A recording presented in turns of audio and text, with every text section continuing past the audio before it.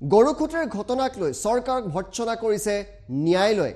এই ঘটনাক অত্যন্ত শোকাবহ বিগ ট্ৰেজেডি আখ্যা দিছে ন্যায়ালয়ে আৰু দোষীয়ে শাস্তি পাব লাগে বুলি প্ৰকাশ কৰিছে।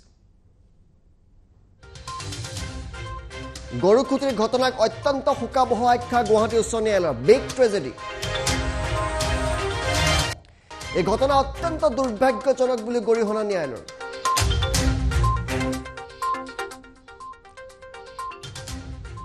এই ঘটনা অত্যন্ত দুৰ্ভাগ্যজনক বুলি গৰিহণা দিছে ন্যায়ালয়ে। দোষীয়ে শাস্তি পাব লাগে তাত কোনো সন্দেহ নাই। খুন জমিন পেৰ গিৰ গিয়া মুখ্য ন্যায়াধীশৰ এয়া মন্তব্য মাটিত তেজ চিটিকি পৰিছে। মুখ্য ন্যায়াধীশ সুধাংশু ধুলীয়া আৰু ন্যায়াধীশ সৌমিত্ৰ শইকীয়াৰ দ্বাৰা চৰকাৰক ককৰ্থনা কৰা হৈছে। বিৰোধী দলপতি দেৱব্ৰত শইকীয়াৰ এখন পি আই এলৰ শুনানিত এই মন্তব্য আদালতৰ গৰুখুটি উচ্ছেদৰ সংঘৰ্ষত বাৰ বছৰীয়া কিশোৰকে ধৰি মুঠ দুজন লোকৰ মৃত্যু হৈছে।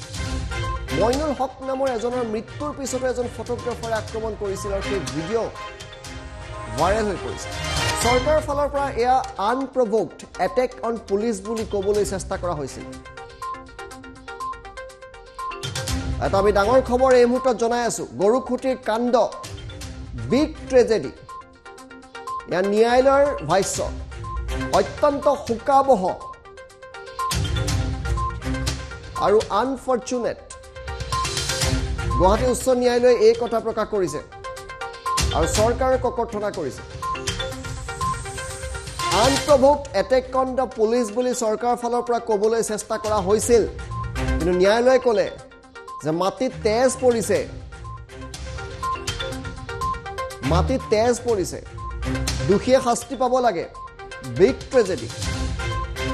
খুন জমিন পৰ গিৰ গিয়া বুলি স্বয়ং মুখ্য ন্যায়াধীশগৰাকীয়ে এই কথা কৈছে।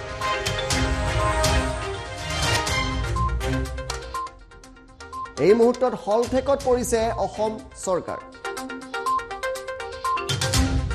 এইপিনে এই ঘটনাক ন্যায়ালয়ৰ